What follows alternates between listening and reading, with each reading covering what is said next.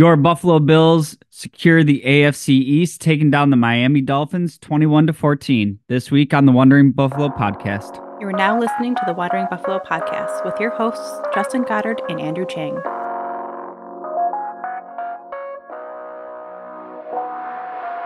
Bills Mafia, welcome in and thank you for joining me on this week's episode of the Wandering Buffalo podcast. Uh, we're a show here on the Buffalo Fambase Podcast Network, brought to you by 26 Shirts. Ladies and gentlemen, we have done it. The Bills have dug their way all the way out of this hole that they put themselves in, uh, finished off the season, not only taking down a division rival, but taking over the two seed, winning the division, knocking Miami down uh, securing home games in the playoffs, just in all around awesome end to the season. And, you know, of course, the way the Bills did it, it was nice and stress free. Uh, they, they, they just cruised to victory, you know, no stress about it at all. Uh, jokes aside, a very stressful game. Um, it was a really weird one because despite you know, the final score and it coming down to a one possession game, that was a game where it felt like that game felt like it was never in doubt to me more than some of the bigger wins that we've had, uh, if that makes sense. The big thing in this game was early in the game, just terrible miscues that just, you know, took took all the not even took the wind out of the sails because we came back and did it again and got all the way down the field and did it again. Um, obviously, early in the game, um, Josh Allen has the first pick. Um, looked to be a miscommunication between him and Gabe Davis. Um, what I'm really interested in in in this particular play is the very obvious pass interference that didn't get called the play before. Um, Dawson Knox gets you know straight up like bear hugged before the ball gets there. Um, and you know it it's it's never fun, you know, playing the result and like the the what could have happened game. Uh, but based on the amount of times that the Bills were willing to do, you know, their version of the tush push, the snowplow, whatever you want to call it, uh, I'd like to think first and goal from the one ends up being a very different result um, than having thrown the interception. Um, but you know that that was the first of the miscues um, from Josh Allen, who was immensely frustrating, but also um, just heroic and put up ridiculous numbers. And you know, part of it is he he has to have this prolific game um, to bail them out because of mistakes early in the game. Um, but he's also able to do it. So um, roller coaster ride. And and I'll say this about Allen. Um, I've been I've been saying for quite some time. Um, he's got shades of Brett Favre to me, where he's believes he can make every single throw. Um, and that's going to come with some turnovers. It's going to come with some variance. I'm perfectly okay with that because of how much he can do to, you know, put the offense on his back, whether it's with his arms, with his legs, um, that being said, three in a game is a lot. Uh, you're not usually overcoming that. Um, in particular, in particular, the the timing of them and the area of the field. You know, go all the way down the field. You're about to get at least a field goal, and you know, no points go on the board. Um, so that was the the first frustration of the game. Um, I'm gonna be honest. I I was taking notes like a madman during this game. That I'm so excited about the way this season ended. I'm I'm a little bit all over the place tonight.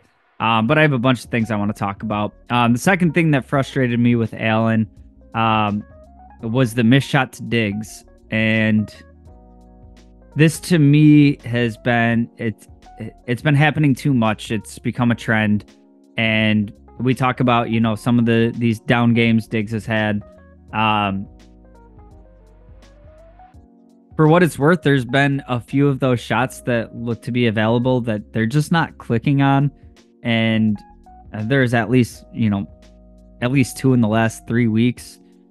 and all of a sudden, if he puts up one of those, we're not having any Diggs conversations. You can look at the box score, you can see the stats. You know very obviously that you know he had a monster game.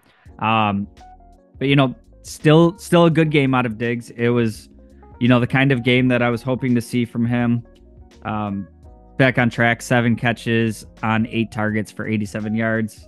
Like, cool. That's that's the Diggs I wanted to see going into the playoffs. Um, it was it was great to see it in this game.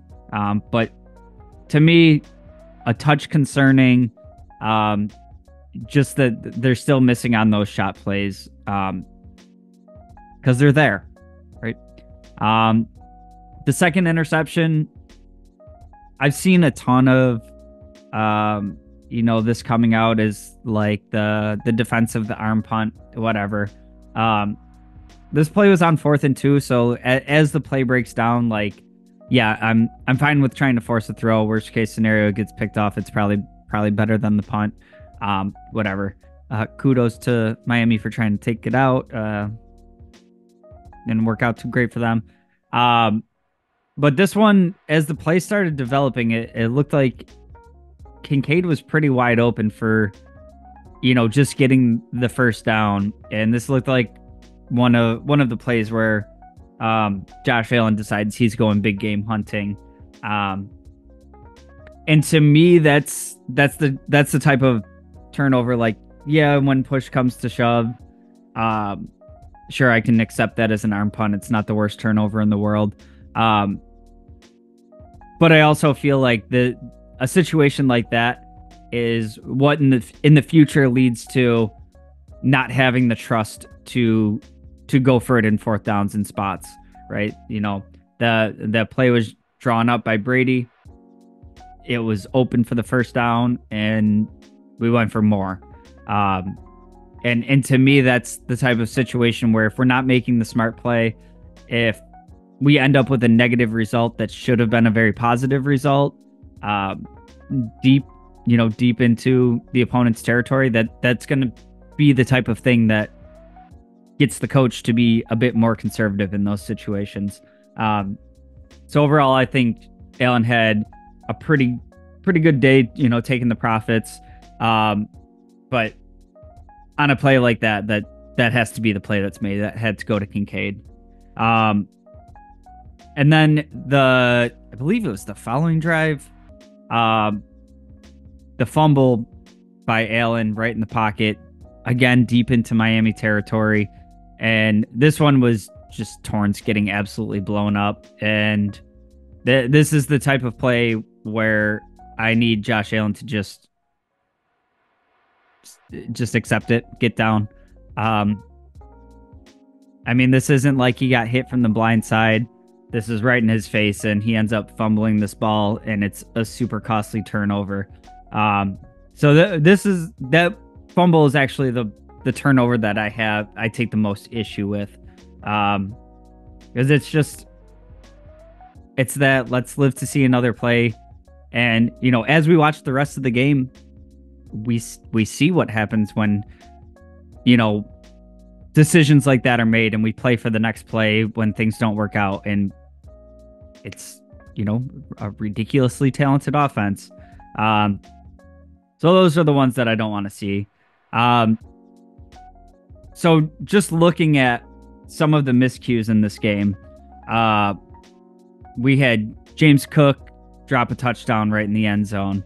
Um Ty Johnson before the half gets down to the one yard line, the clock runs out. I've also seen uh, a ton of ton of hate on Allen for this one for not throwing it into the end zone. Um, look, I get it that you know as as time's about to be expiring, it's got it's supposed to go to the end zone. You know, so it's either a touchdown or an incompletion, whatever. Um, I have a hard time jumping on board with that criticism. I, I get it. Like that's that's the smart football play, whatever. Um, but Ty Johnson's able to get that ball like one foot further, and nobody's talking about you know, oh, we got lucky that Josh Allen made the wrong play and it worked out. It's oh, what a brilliant play to you know find him and let him scoot into the end zone right before half. I I get it, right? You want to either you know have the touchdown or the incompletion. Um, again, to me, that's just a little bit too much playing the result, and we're having a whole different conversation. Um, if, if he if he hits on that, um, so I mean, right there, we're talking three turnovers that were in scoring position. Um, we had, like I said, the Cook drop and the Ty Johnson um, getting stopped at the one. We're talking five possessions right there, and I'm not even saying you know these are all touchdowns, right? I, will I'll put it to even like if they're all field goals. Um, you're talking about 36 14. Um, going back to the the one that I talked about with the Knox interference on the play before, I like to think that the Bills are getting that in. And this is where like when I say I feel like the Bills really dominated this game way more than the scoreboard's going to show. There was so much left on the field and like that's that's great to be able to play like that and still be able to come away with the win.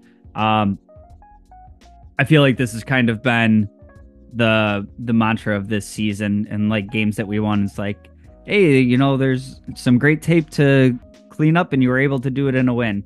Like, this is the best version of that. Like, you were able to do it to secure the division, to secure the two seed. Like, awesome. That Buffalo Bills team could have damn probably dropped a 50 burger on Miami last night if we didn't keep blasting ourselves in the foot. Um, we've gotten away with a ton of that this year. It's also cost us a ton this year. And I guess this would be my biggest thing headed into the playoffs, um, concern wise, is is it going to be, is this going to show up in the playoffs and be the one that we can bounce back from, or is it the one um, that we're not able to overcome? And who knows? I would love to see, you know, just a clean game on both sides of the ball. And if we have the defense playing like they were last night, with the offense taking care of the ball, moving it like that, maybe taking a couple less chances, there's not a team in the league that wants to play that Bills team in the playoffs. It's all a matter of putting it together. And in this game, we even got contributions from special teams. Um, I'll talk a little bit more about all the other contributors. Um, but there's been lots of special teams issues this season. Um, you get special teams chipping in with Deonte Harty with it just a phenomenal punt return. Um, longest punt return in Bills history, I believe it was. Um, so just an absolutely electric play.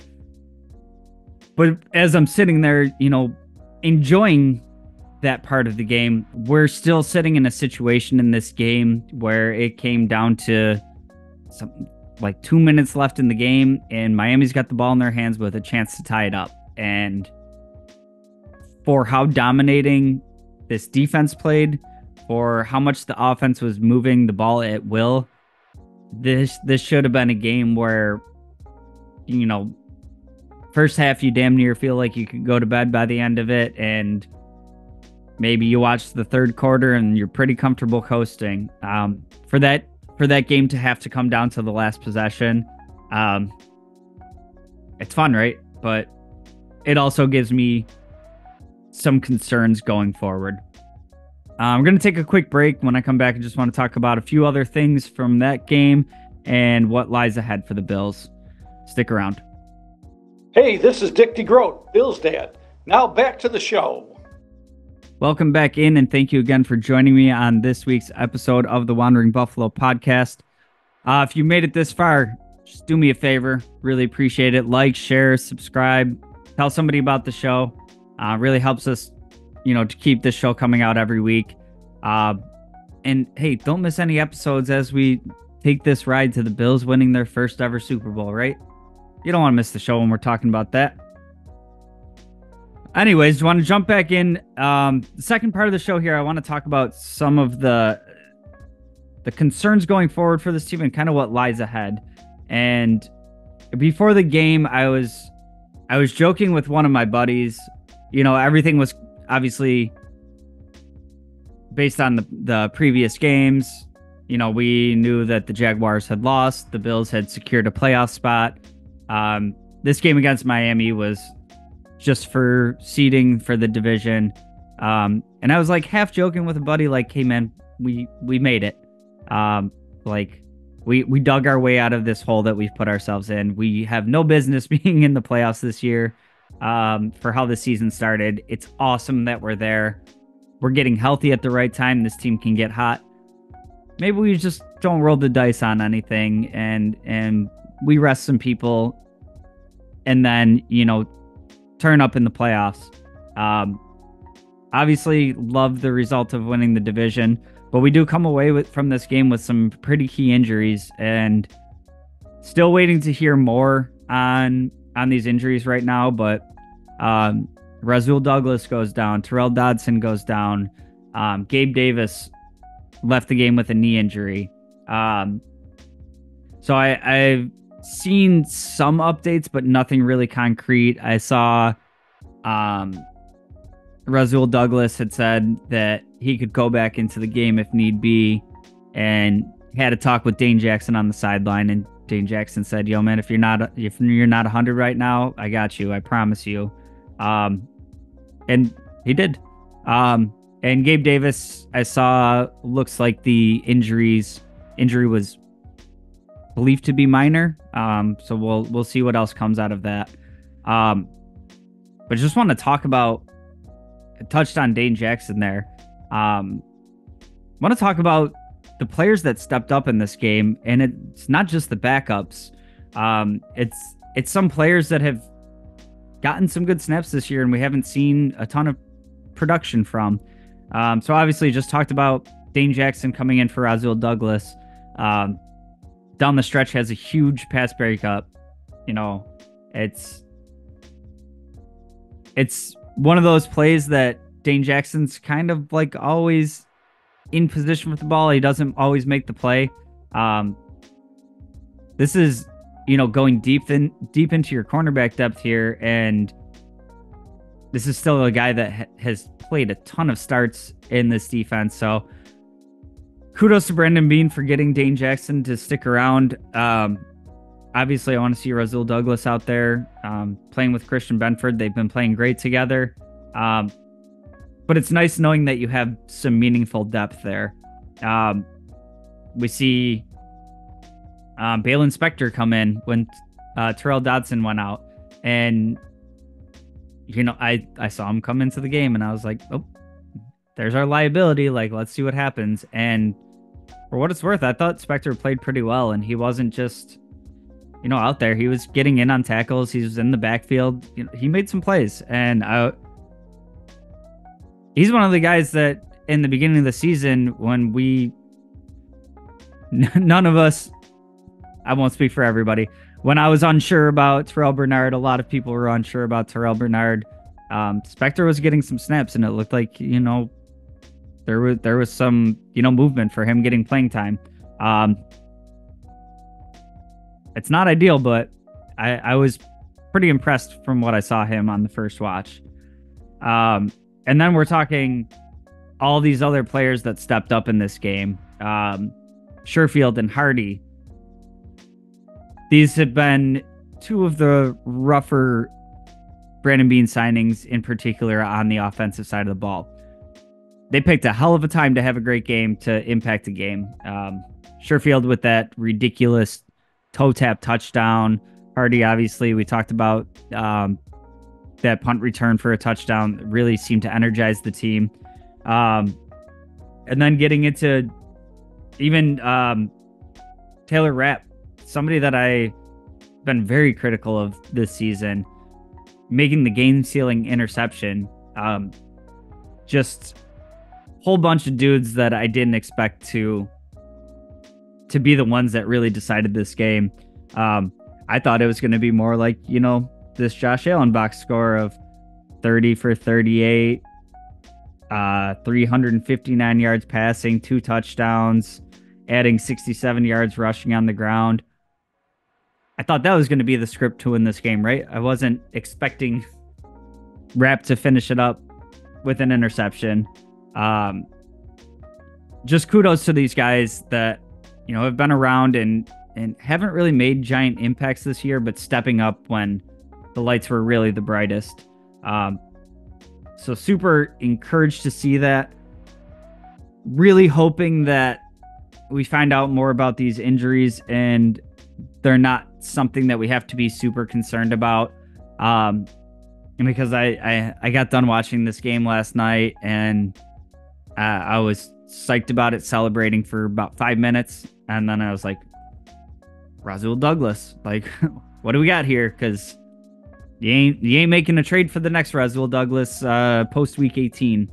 Um, I think I I maintain that was probably the best move in the Brandon Beane era, um, let alone being you know a, a deadline acquisition. Um, to be able to replace you know Trey level uh, Tre White level play, maybe even exceed that in season. Um, but you're not replacing that twice. Uh, if he's missing any time, you got a combination of Benford, Dane Jackson, and probably going to see some Kaiir Elam. so, um, for what it's worth, I maintain that Kaiir Elam looked great down the stretch last year. I don't know what's been going on this year. There was the injury, not sure about that. It seemed like, you know, convenient injury to free up some roster space. Not sure. Um, but if Douglas misses any time here, there's a good chance that we we see Kaiir Elam out there. So hopefully in in his stint of being inactive and you know kind of being on the sidelines, he's been able to you know take that time, reset, do what he needs to do to to be the player that a lot of us thought he was going to be. Um, and then as far as Gabe Davis, if he's missing any time, I don't know. Do we see? Do we finally see Justin Shorter come up? Um, it's kind of crazy to think about that as you know somebody that could be making a, a, significant impact coming in, in the first game being in the playoffs. Um, I know there's ton of criticism for Gabe Davis out there. Um, much of it justified. I think he does bring something to the offense in the way of blocking and just the amount of snaps that he's out there in general that you're replacing um, with people that haven't had a ton of reps with Josh Allen. Um, if Gabe Davis is missing times, like I said, maybe it's shorter. Maybe it's Isabella. Maybe you're getting more snaps from Sherfield, Harty. Um, none of those options are super encouraging to me. Um, like I said, Sherfield and Harty picked a hell of a time to have a great game. The rest of the sample size of the season is what I'm more confident they're going to bring to the table. Maybe I'm wrong. Um, but there's just a much bigger sample sample size of that. And even at this, you know, these are kind of flashes in the pan. Um, I will say as far as if you have to replace Gabe Davis for any time. Khalil Shakir has been balling out this season, um, as well as Kincaid. Um, just two young players that they have like these flashes and these big games, and it's like, okay, is is this the coming out party? Are we going to start seeing this every week? And Kincaid, I think, has been pretty consistent throughout the season of getting targets and catches and maybe not, you know, Travis Kelce numbers, bunch of touchdowns, all crazy stats like that. But I feel like he's been pretty consistent. And Shakir kind of just flew in here and all of a sudden, you know, just has these incredible games of just super efficient play. And he's got that burst. He had the play up the sideline and he catches everything that goes to him, he catches. I, it, I'm, I think the most I've seen for him for incompletions in a game was like one. In this game, six for six, 105 yards, um, averaging 17 and a half yards per catch. Like, that's awesome numbers. And it actually kind of reminds me of when Gabe Davis was kind of like our fourth option, had to be the afterthought for defenses it's hard to get a ton of coverage guys to be able to cover everywhere and it's it's why I loved Gabe Davis in that like wide receiver three, four, whatever you wanted to call it. There's a slack guy that was always hurting you. Um, a legit outside number two. I'm not gonna sit here and, you know, start the start the train for let Gabe Davis walk and make Shakir wide receiver two. I, I think that was the the mess that we got ourselves in here in the first place. Um, but for Shakir to be putting up these numbers and maybe be a third option right now behind Diggs and Kincaid and add to that room in the offseason. Um, right now, I've, I've loved what I've been seeing from him. And um, similar to I talked about Elam down the stretch last year. Um, I think Shakir started flashing towards the tail end of last season. Um, and he's a player I was super excited that the Bills drafted. Um, and then it, it kind of seemed like he was coming along slow again this season. And um, through this last six games or so, he's he's really started impacting games and super fun player to watch. And he's making plays every time the ball's in his hands. Um, so feel good about what we have there um, going forward. Um, up next, the Bills have one of those one o'clock games on Sunday, which super psyched for. I don't know about you guys. The primetime games are fun and everything. Um, but by the time we get through the game and all the highs and lows of how we got to that game, I, I'm not falling asleep after that. I, I was up till I, I don't know three in the morning. Um, so I will take Sunday at one o'clock gladly. Um, showdown with the Steelers. Obviously, we're going to be playing in Buffalo. Um, Steelers are a team that I I'm not gonna I'm not gonna be here sleeping on the Steelers. I'm not gonna say you know this is a team that the Bills should dismantle all week. I have immense respect for that team and the coach to be able to make the playoffs with what was going on with that team this year. Um, just also like the Bills fired an offensive coordinator that didn't seem to have the same spark as it did for the Bills. Um, you have your first round quarterback get hurt and now he's losing his job. You had your backup Trubisky. He wasn't getting it done. You're on Mason Rudolph now, a guy that you've had plenty of looks at, and he never became the dude for you. Um, and they're winning games. Um, I think a ton of this has to really speaks to like the the type of coach Tomlin is. You know, there's so much talked about about you know, oh, he's never had a losing record, and I saw a lot of a lot of talk about you know whatever he goes nine and eight, and yeah, he had a winning record, but they missed the playoffs. So like, how cool is it that he always has a winning record? Um, I feel like the team they had this year had at no point in the season did I think this looked like a playoff team. Um, but they continued to find ways to win. I believe through like week 13, they had like a negative point differential, um, which is crazy to end up in the playoffs with that. But Tomlin got them there. Um, so they, this is the type of team that has scrapped and really fought for every win that they've had this season. Um, and they're not going to stop doing that just because the Bills are coming in hot. Um, so we'll see what happens there. Um, it does look like TJ Watt's probably going to miss this game.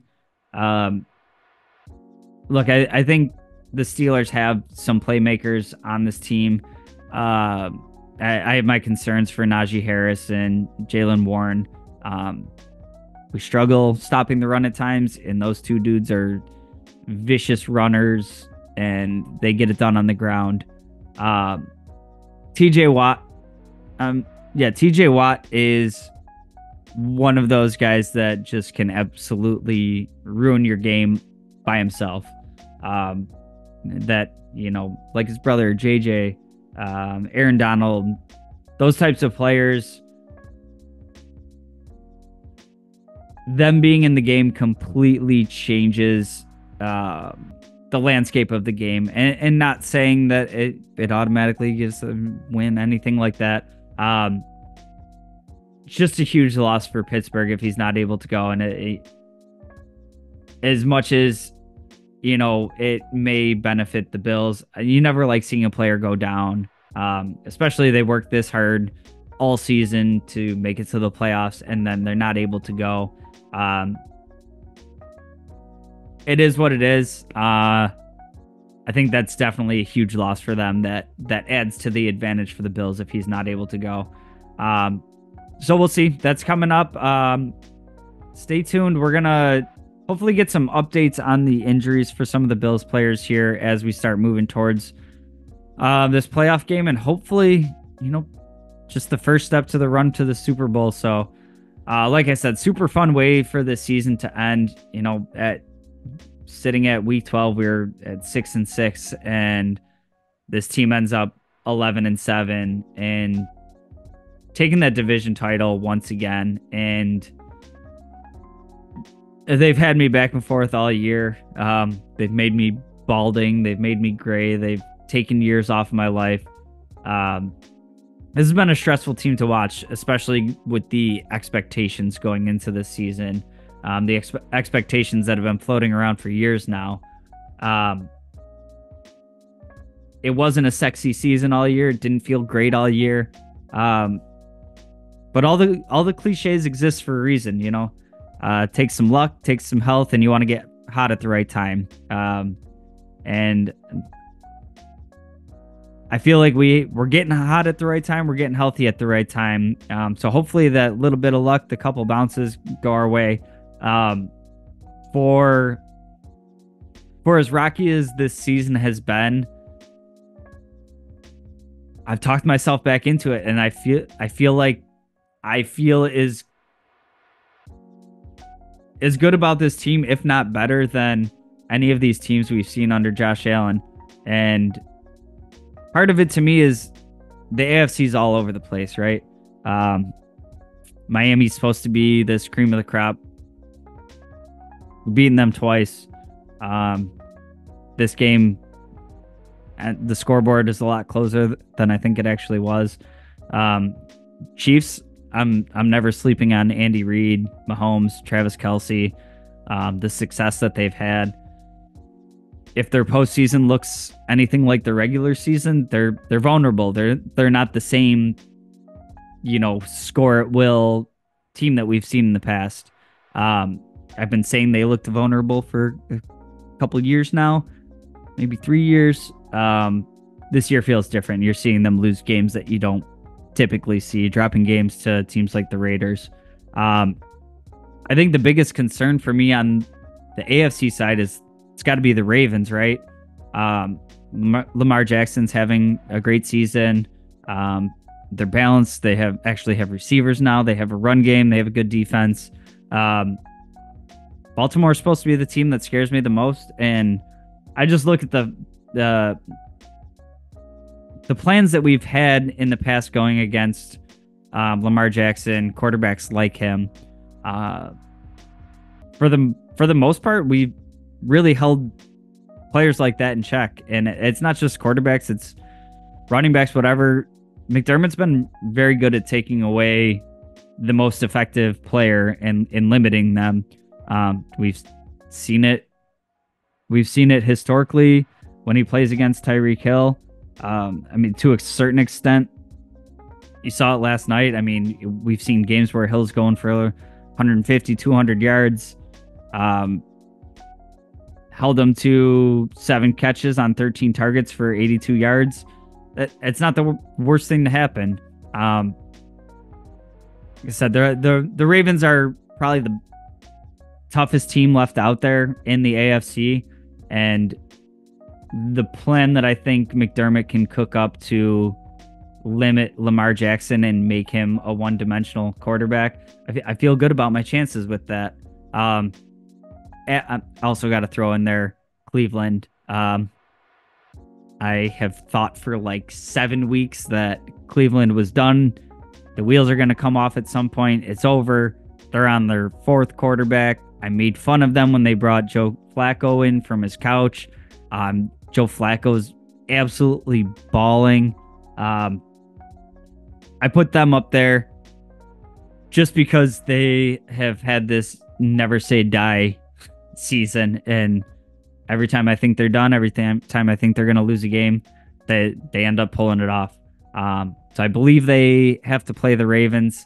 So one of those teams will take each other out um, before it's a question for us. Um, but yeah, I, I feel like this is this is the time for the Bills to put it all together, and if they're able to do that, this is the most open the AFC has been since the Bills have gotten Josh Allen. Um, so it's all about from here. Take care of your business, win, just keep winning and handle your business. This is, for what it's worth, of my opinion, this is your year. Go out there and get it done.